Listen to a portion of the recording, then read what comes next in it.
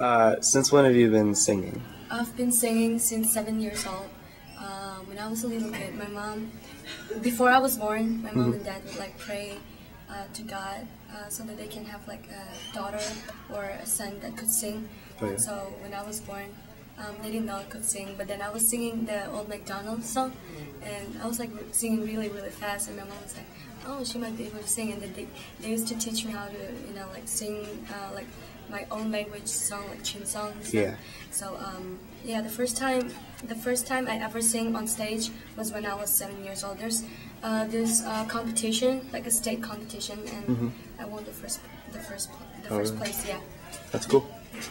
Okay. Um, on your uh, tour this summer, uh, like where are you going and um, who's going with you? Like as far as like your family and um, like how'd you come about going on tour exactly? Yeah, um, the summer tour, uh, it will be at Australia, and um, I'm going alone. Uh, there's this church, um, like a group of church.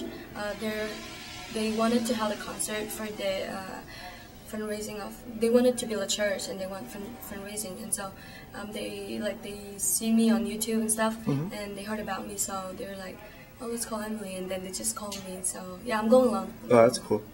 Okay.